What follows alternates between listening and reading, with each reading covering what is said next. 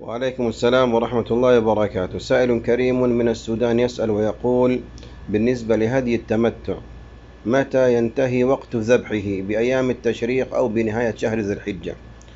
الذي عليه أهل العلم أيها الكرام الفضلاء أن وقت الذبح لهدي التمتع أو القران في الحج يبدأ من بعد رمي جمرة العقبة. من بعد رمي جمرة العقبة في يوم النحر وينتهي إلى مغرب ثالث أيام التشريق إلى مغرب الثالث عشر من ذي الحجة. هذا الذي عليه جمهور أهل العلم. قول عند الشافعية أيها الكرام الفضلاء وهو قول مرجوح في الحقيقة أنهم يرون أن هدي التمتع يصح بعد الإحرام بالحج وإن كان قبل يوم النحر وإن كان قبل يوم النحر.